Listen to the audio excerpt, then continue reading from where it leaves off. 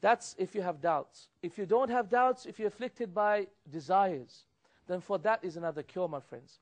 For that is another cure. What is the cure for that? The cure for that, without doubt, is coming back to Allah subhanahu wa ta'ala and finding, finding peace and tranquility and pleasure in Allah subhanahu wa ta'ala, in Islam. Sometimes we think, for example, there is no pleasure in Islam. Some, sometimes people ask the question, subhanAllah, look at Islam. It's all about prayers and fasting. It's all about zakat and hajj.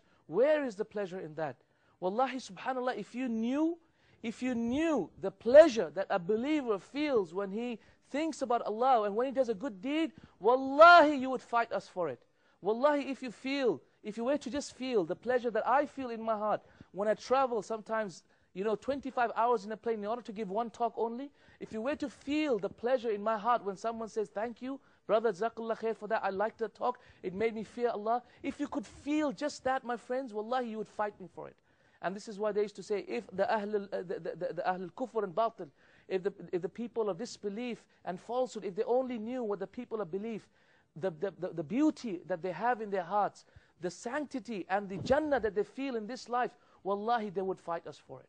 Unfortunately, they are blind to it. And partly because of the fact that we have not expressed it and showed it to them. And as a result, they are not fighting us for that, for that, for that Islam as well, my friends. Truly, my friends, I remember we were in the, in the, uh, in the Prophet's mosque and our Shaykh, Fadilat al-Shaykh Shanqiti Hafidahullah, he was giving us a beautiful lesson. And wallahi, he could give the most boring of lessons regarding talaq or something of, of, of a woman's menstruation or something. But subhanallah, it would cause the hairs on the back of my, my neck to rise up.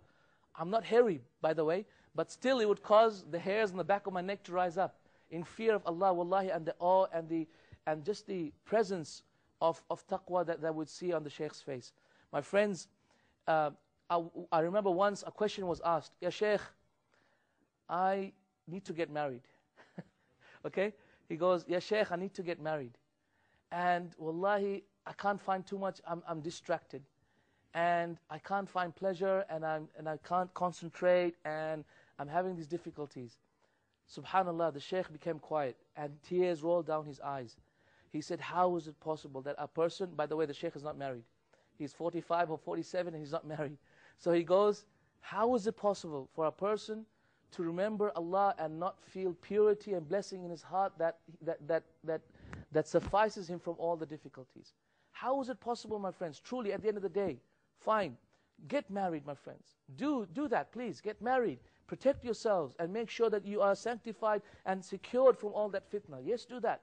But at the ultimate day, ultimately, Ultimately, you can get married to as many women as you want, but you'll still have that fitna in your heart if you're not at peace with Allah subhanahu wa ta'ala.